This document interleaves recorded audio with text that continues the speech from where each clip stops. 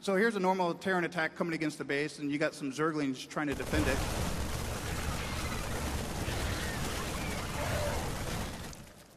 You'd be in trouble at this point. You don't have any more units to guard your base. But you have swarmlings. So each of these larvae is going to produce three Zerglings, and they're going to make a really large force quick.